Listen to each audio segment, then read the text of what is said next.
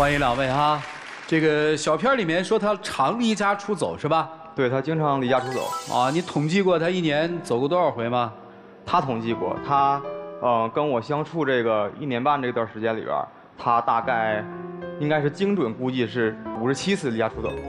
五十七次啊，一年半啊，可以啊。我是想就是离家出走嘛，他每次都会哄我，然后有时候吵架没有台阶下，我就故意，我觉得还挺甜蜜的，所以我会计算。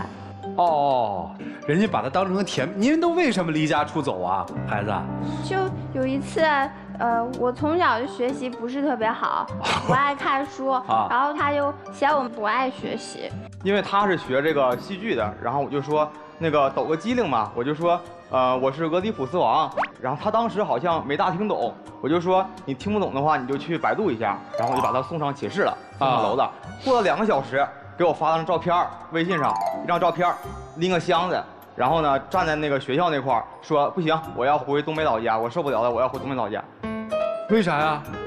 他的语气就是很轻蔑，反正就是我觉得嫌我没看过那个书，我学戏剧也不一定看过那书，我怎么知道那个鹅什么它到底怎么回事？哎呦，姑娘，你这学戏剧的还真应该看看希腊的东西。然后我就看他生气了嘛，我就想也不能不管呀，然后我就骑着车我就去找他了。在那个学校门口那块儿，然后他拎个箱子嘛，他见了我之后，态度立刻就软下来了，笑了嘻的。然后我就想，女孩可能都需要哄是吧？就是说那个宝贝儿，对不起，我不该那么跟你说，我应该就是把话说明白。然后我说西门那边新开家小吃店，炸串挺好吃的，要不咱尝尝去啊？然后他就特别开心，然后我就把他就拉走就。我不是我不是爱吃那点炸串，我是想他既然都来哄我了，就代表他不是嫌弃我就没看过这个书。然后我就想，万一分手之后他也很想我呢？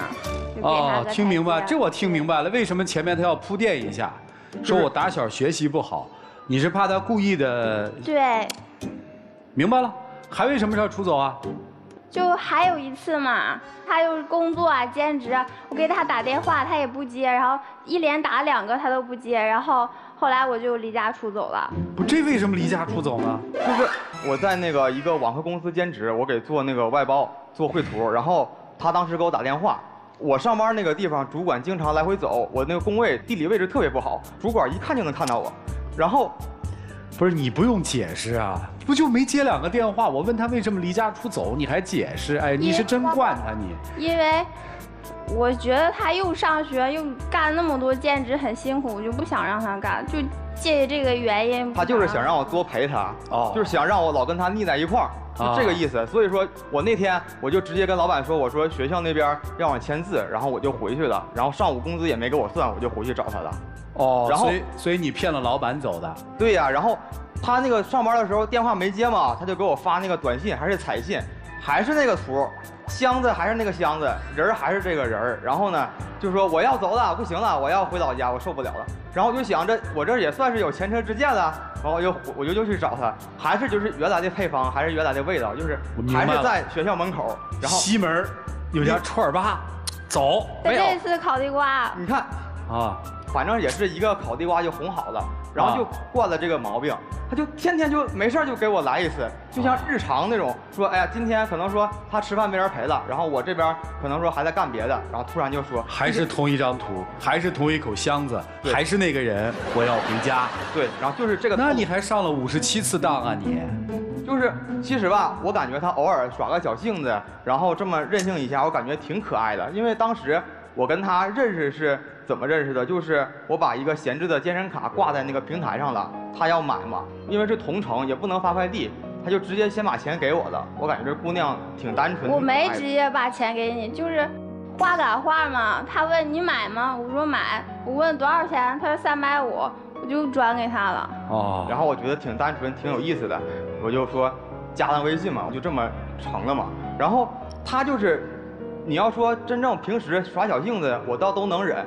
就是他不分场合不分地点，无论什么事儿他都会给我来那套啊，就说他要走他要走。你 像我就是平时也没有什么太大的爱好，就是喜欢打辩论嘛。然后当时学院组织迎新赛，就是辩论的迎新赛。哦，你是辩论队的。对，然后那个，嗯，我就在文学院，我就打嘛，然后打完之后我就说有感兴趣的同学啊可以加一下那个我们的那个群，然后如果有解决不了的问题可以加我，我是这个那个队长，有什么问题可以直接找我说。然后他当时就特别生气，直接就是一个箭步冲上台，把我那个话筒拿走，说不管不管，你们学长不管这个事儿，你们去找别人吧，他不管这事儿，你们加别人去，就这样，我特别让我下不来我台。没有那么刁蛮，我就是因为他打辩论嘛，第一次穿西服，然后看他据理力争的样子，就觉得还挺帅的。然后他在中间就是说你们可以加我，然后那个小学妹就呼啦呼啦全都涌上去了。哦我一看不行，我就告诉他们让他们找别的学长负责。然后，啊，然后我就把他拉出去了嘛，啊因为人挺多的，还在台上，影响也不好，然后我就把他拉出去了。我就跟他说，就是讲这个道理嘛，他就不听，就在那儿哭，就是一直在那儿哭。你你不是讲道理，他就是过去就这样使劲拉着我，然后过去冲住，还气喘吁吁的说：“你凭什么能不尊重别人喜欢的事情？你凭什么否定别人热爱的东西？”转身就走了。说的没错啊。他出门的时候，为什么很惹我生气？他就说说，你看你打这个东西啊、你也不能那个呃拿什么大奖，你也不能什么帮你升学，也没怎怎么怎么样，然后然后还说不给钱，你打这东西干嘛？然后我就跟他说这个事儿，当时他就一直哭一直哭，我就没理他，我就走了。那那我后来不改变想法，你打辩论赛不得过一千块钱吗？我俩去开演唱会了。就说这演唱会，买最后排的座儿看汪峰演唱会，一共四个小时，我听保安唱了仨小时，就非得非得要去看那个演唱会，还是最后排座。完了，要是平时他要想跑路啥的，他都会给我一个明示或给我一个暗示，嗯就是意思就是说不行了，我要走了，然后那个你赶紧来拦我。然后这次好像就是真认真了。嗯，我想跟他发消息嘛，我说这事儿可能我态度不好，然后跟他那个微信一说话，我发现他给我拉黑了，然后我就打电话，打电话也不接，然后我就给他那个寝室那个莹莹打电话，然后莹莹告诉我说他收拾东西就是要跑路了，要要回家了，这回都没跟我说，我就想可能这回我是真把他惹生气了，然后我就直接打车去汽车站了，在那个售票处拦住他了，然后我就说，嗯、不管怎么说，我态度不好，也没跟你说明白这个事儿，然后我就跟他做了一个类似像协定一样，然后后来就把他哄回来了。那不是协定，是个骗局，他就等着我入坑呢。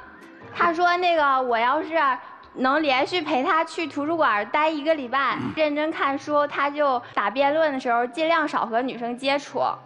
我那那叫骗局吗？什么叫骗局？就是骗局是我知道你做不到你就别辩论了，你说事实吧。他做到了吗？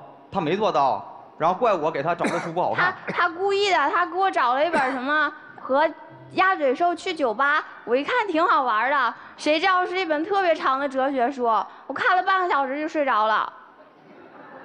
你真要命啊！你读个书读半小时就能睡着啊？那个哲学很很很难懂，所以你当时你信了吗？信了。你看他耍小性子啊，或者说这个发个脾气啥的，就是也就真是无伤大雅，都在我控制范围之内。但是就是我觉得我跟他消费观念特别不一样。我其实家庭条件就是挺一般的，呃我家里每个月给我打生活费是八百，然后我自己出去兼职做图什么的，我一个月大概能嗯有一千五左右能花。然后他就家庭条件比较好，他爹妈光给他钱就给四千，然后他没事还可以就是再要嘛。然后他就是这个人，花钱大手大脚的，尤其是就是在买东西这上面，就是该买的买，不该买的还买，然后别人买他买，别人不买他还买，然后就是反正一个比一个能买。这次这个双十一，他就跟我炫耀他买了三十多个就是未收的快递，然后还都是没什么用的东西。那都是有必要，就像窗帘、拖把、水果刀，哪样用不着？你能用着，你大冬天买什么花露水啊？蚊子咬你啊！你要说你囤点日用品是吧？日化品，我其实也不能那么反对，就买那些奇奇怪怪的东西，什么呃什么睡觉闭嘴神器，我就不知道你买那个东西干嘛呀？自己有那毛病不得注意点儿啊！我舍友就说，我要是高度紧张的时候睡觉说梦话，我不得自己注意点儿啊！他就总这样认为，他认为说，呃，我有什么问题，我不先想让我放松，不再说梦话，他就想说我花钱去买东西解决这个问题，而且他有个观念，就是双十一啊什么这种购物大潮，如果我不买东西我就亏，买了我就赚，我我拦一句啊，他花你的钱吗？没有，那就完了，你让他花去呗。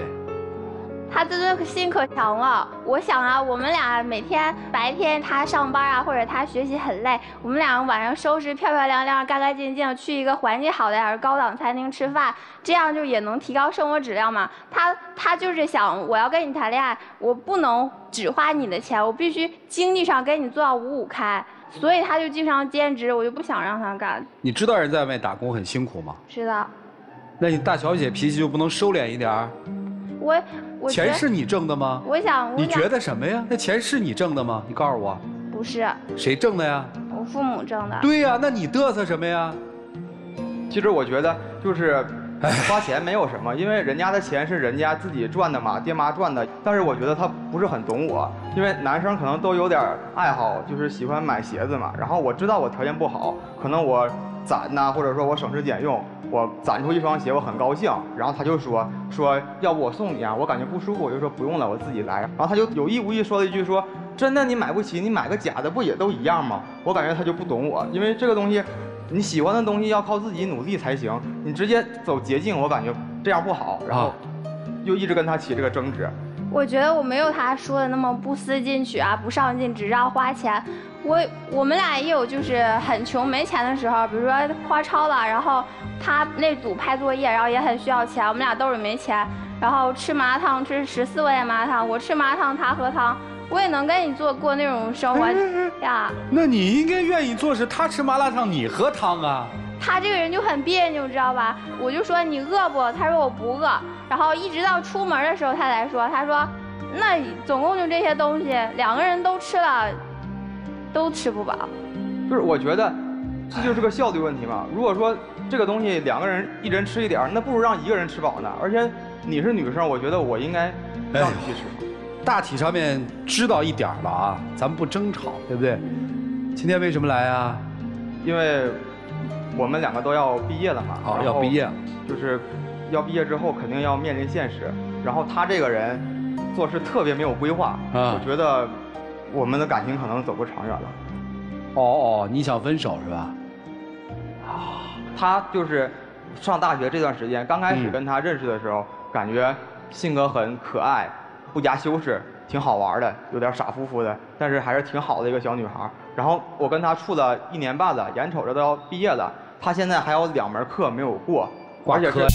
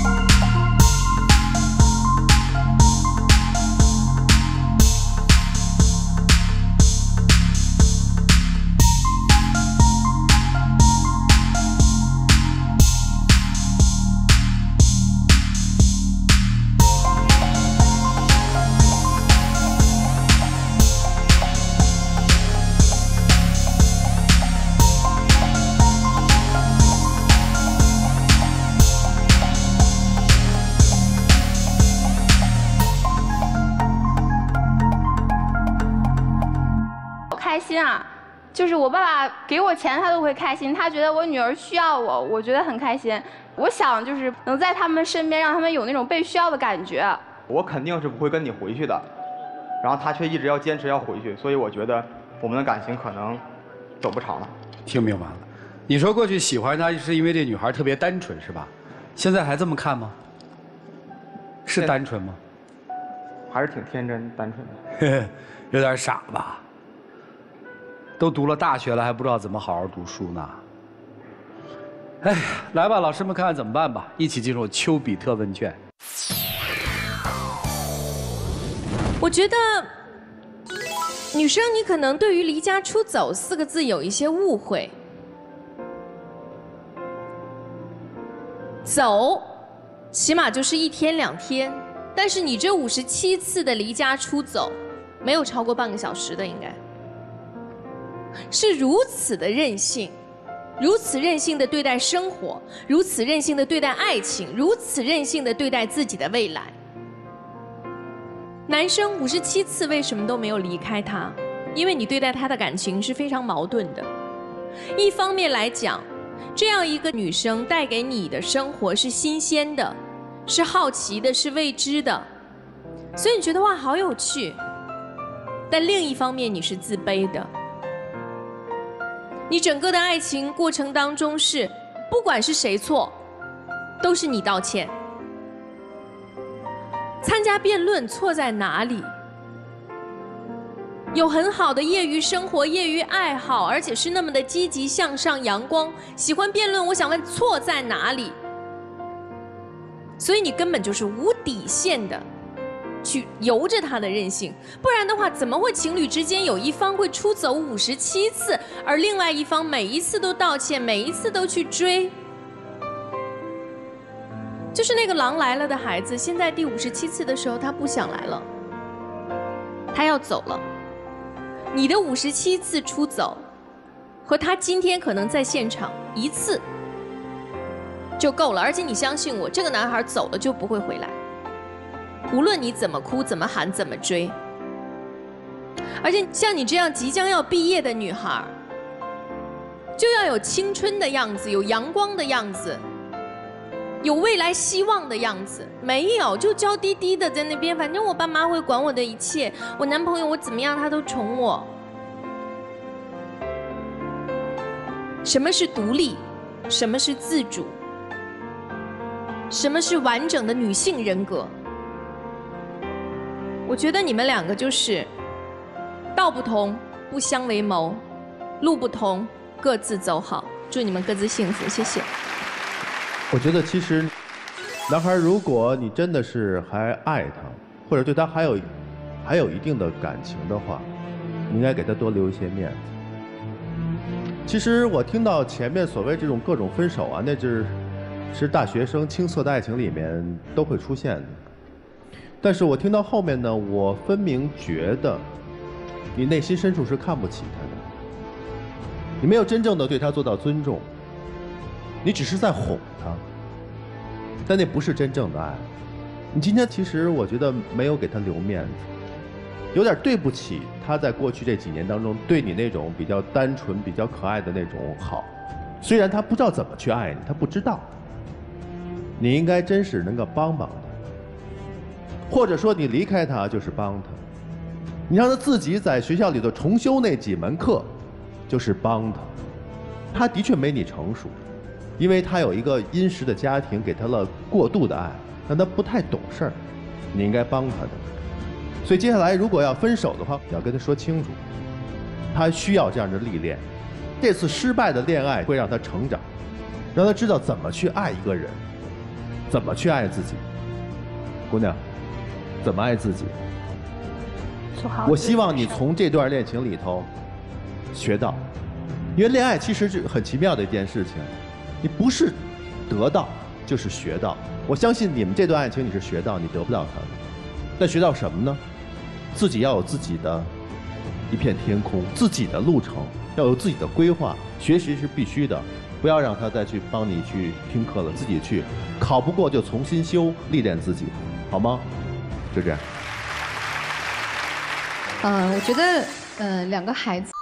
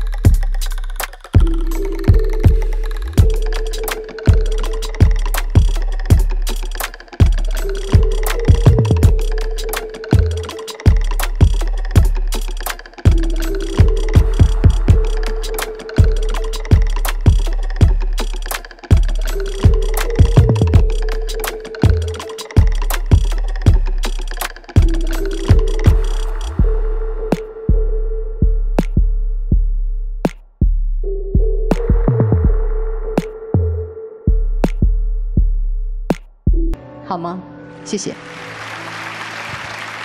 姑娘，你正面临着双重威胁。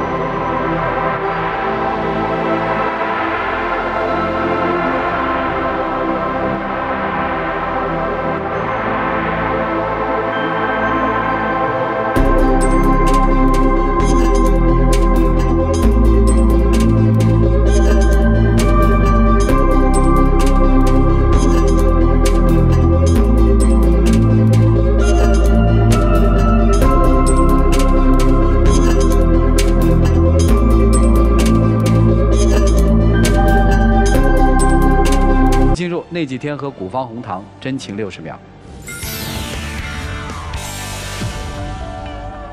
其实，我今天就想问你一句话：如果我愿意跟你去上海，愿意多读书，愿意妥协，你想过娶我吗？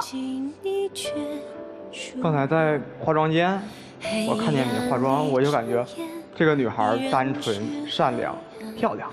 我想，如果这个女孩能是我的新娘该多好。但是，我不知道，我如果跟你一块去了上海，我把你从你爸妈的温室拿了出来，我有没有能力能给你更好的生活？我更希望我的妻子能在我上班累了之后，第二天早上告诉我，你该起床了，上班了，而不是说多睡一会儿吧，今天别去上班了，陪我在家玩吧。三分天注定。对不对？七分人算计，我感觉我尽力了。谢谢。七分靠打拼是吧？三分天注定。哎，你很消沉哎，小子，平常心啊！因为财富不是衡量成功的标准。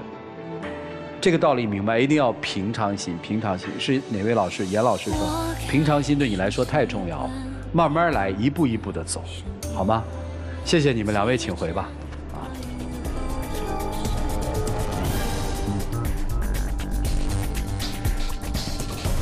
来，请关门。来吧，看选择，请开门。